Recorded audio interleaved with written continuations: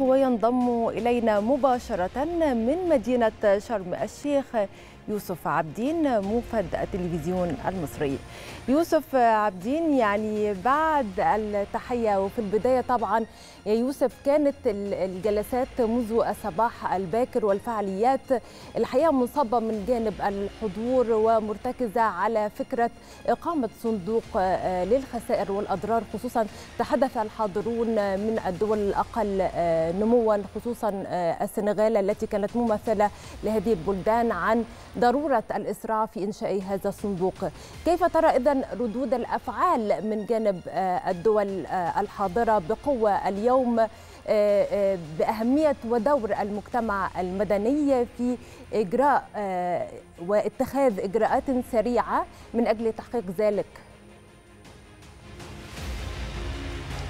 أحييك دينا وفي البداية كما أشرت إلى مسألة تعويض الخسائر والأضرار ربما كانت هذه هي المرة الأولى التي تمت الإشارة إلي إلى هذا الموضوع في قمم كوب. موضوع الخسائر والأضرار هو متعلق بشكل مباشر بمسألة التمويل وربما أشرنا بالأمس إلى إطلاق مبادرة الدرع الحامي للكوكب والذي يتضمن وصول التعويضات المباشرة والسريعة والآمنة إلى الدول الأكثر فقرا والأقل نموا والأكثر تضررا من تبعات التغير المناخي. اليوم كان هناك تركيز كما أشرت دينا على دور المجتمع المدني في مجال الطاقة. الطاقة هي أكثر القطاعات أو أحد أكثر القطاعات المسببة للتغيرات المناخية والانبعاثات الحرارية. وكما يعلم الجميع أن العالم الآن وفقا للأزمة الروسية الأوكرانية يعاني من أزمة طاقة وهو ما دعا العديد من الدول إلى توفير وتأمين احتياجاتها من الطاقة في الوقت الذي يتوجب عليها فيه أن تتحول إلى الطاقة الجديدة والطاقة المتجددة والطاقة النظيفة. كما هو معلومة بالأرقام أن مشروعات الطاقة المتجددة استحوذت العام الماضي على 80% من نصيب مشاريع الطاقة ولكنها لم تنتج سوى 5% فقط. باعتبارها مشروعات ذات جدوى طويلة الأمد. من هنا كان أهمية أن يكون هناك يوم للطاقة في فعاليات كوب 27 قمة التنفيذ القمة التي حملت على عاتقها. إلزام كل الدول المتقدمة والكيانات الصناعية الكبرى بالوفاء بتعهداتها ناحية الدول الأقل نموا والمتضررة أكثر من التغيرات المناخية. ولعل هذا فيه هناك إشارة مباشرة إلى الدول الأفريقية التي تتحدث باسمها مصر. اليوم بدأ بجلسة رفيعة المستوى لخفض الانبعاثات وتحسين التكيف العلاج الخسائر والأضرار وهو أمر مهم تم التركيز عليه كثيرا وتعهدات بزيادة التمويل. الرئيس المعين لهذه القمة السيد سامح شكري وزير الخارجية أرسل رسائل عدة خلال الجلسة جلسة الشق رفيع المستوى.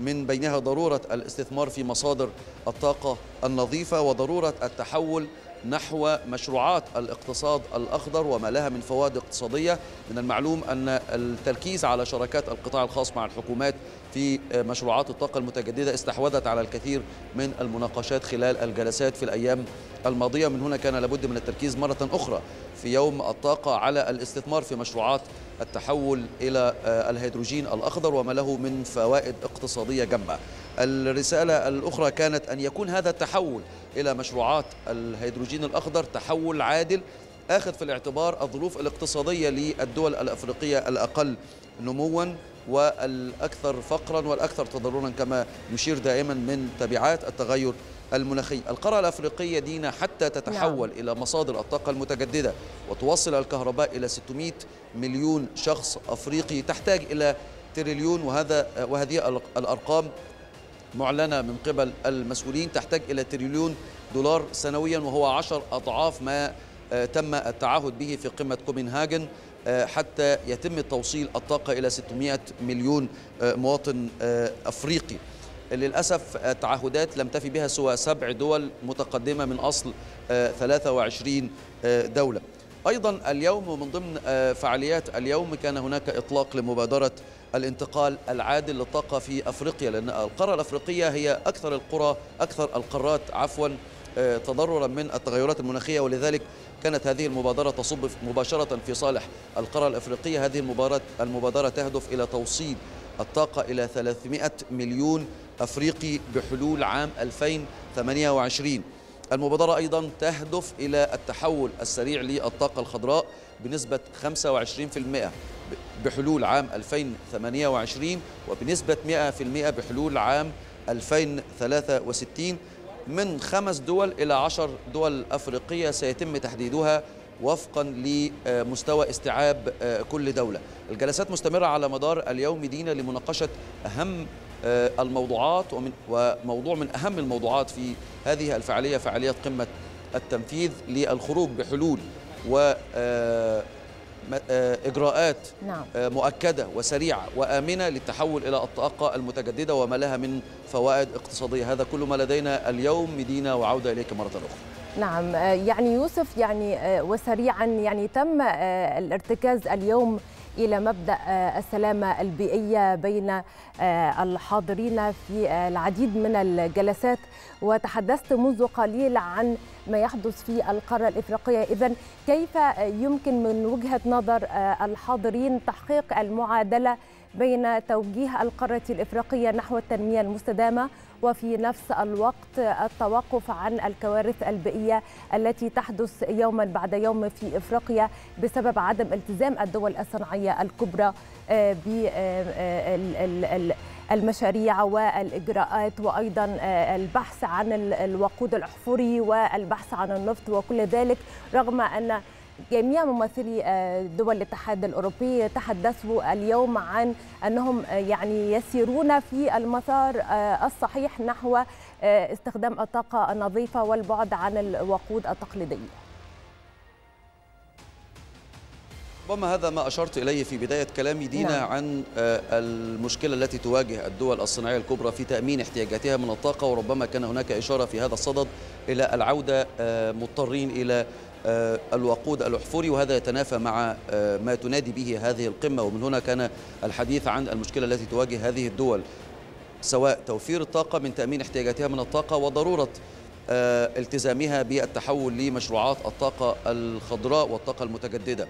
وأيضا أشرنا في بداية حديثي عن مسألة خفض الانبعاثات. الدول الأفريقية ليست مسؤولة بالقدر التي هي مسؤولة عنه الدول المتقدمة في مسألة الانبعاثات الحرارية والكربونية ومع ذلك هي تتضرر كثيرا.